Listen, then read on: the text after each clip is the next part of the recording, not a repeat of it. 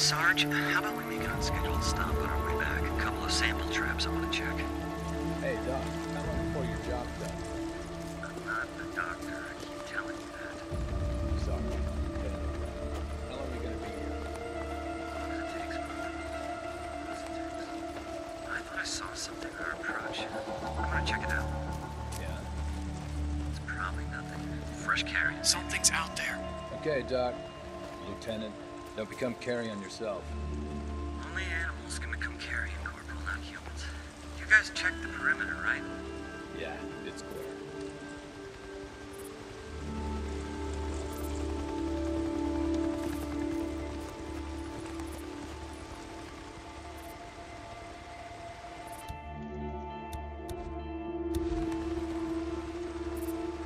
Damn it, so close.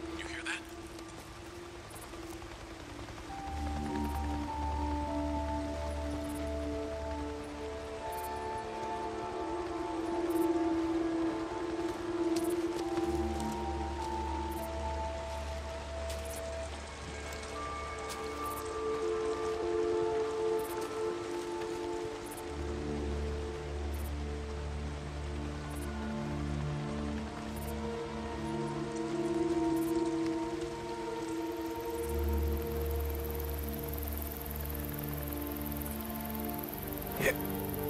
I heard something.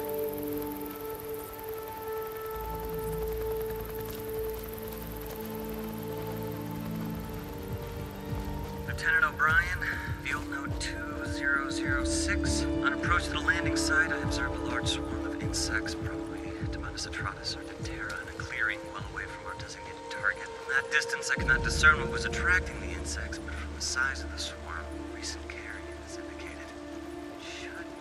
just over here. Damn it, where is it? Ah, here it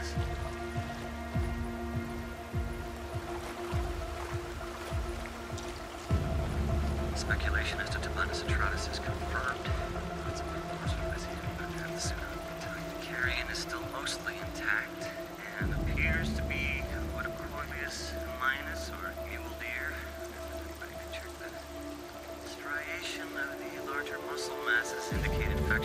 infection with strain HB. We'll take sample to confirm.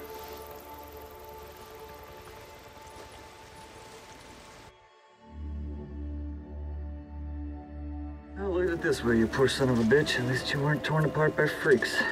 If you lived a few more weeks, you might have become one yourself. Now, whether that meant something.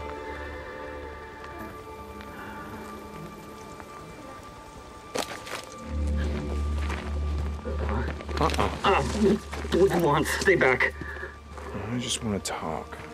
Uh, Nero Protocol 2-7 states clearly that uh, if conducting operations in quarantine zones, if I encounter any civilians or some, civilians, that I'm forbidden from making contact. Really? See, that sounded to me like making contact. Yes. Yes, it did. You're alive. Yes. I am. How? How are you alive, What? I, I, I don't understand. Okay. You were there. That night. Farewell. The next night, refugee Nero camp. Protocol 2-7 states burning. that I- Everyone was dead. Two they were slaughtered, torn limb Nero for goddamn limb. All right, listen up. We're gonna do this the easy way or the hard way. The easy way, we have a little chat. You give me the information that I need, and then you go back to digging your way through freaker shit or whatever the hell else you're doing out here. The hard way. Crack open that little spacesuit, and then we see what your friends out there have to say about you breathing in all this contaminated air. So what's it gonna be, O'Brien? Yes. Okay. Okay.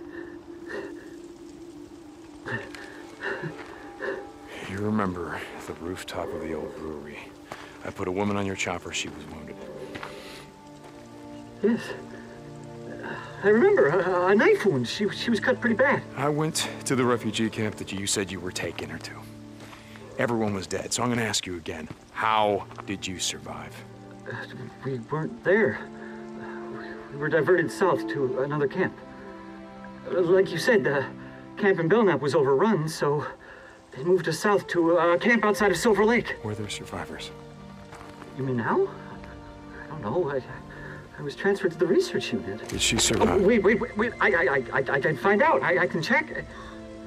You- You have one of our radios. That's how you. Uh, I, I can't promise anything, but I'll, I'll check. Uh huh. And I'm gonna go with you. No, you, you can't. Please, you don't. Hey, you don't understand. They'll fucking shoot you. Not before I shoot you. Okay, look, if you're gonna fucking kill me, do it, okay? I did my job. Did the woman your wife? I put her on oxygen, I gave her an IV. I kept her alive. I got in a lot of trouble for that. She was septic, she wasn't gonna make it, but I got her to the MASH unit. I saved her goddamn life. O'Brien, report. I have to go. Please, uh, you have to get out of here. You don't know these men. You don't know what Brian? they're capable of.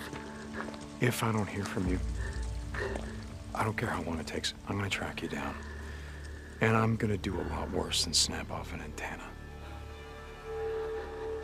I'm sorry about your wife. But you're not the only one who lost someone that night.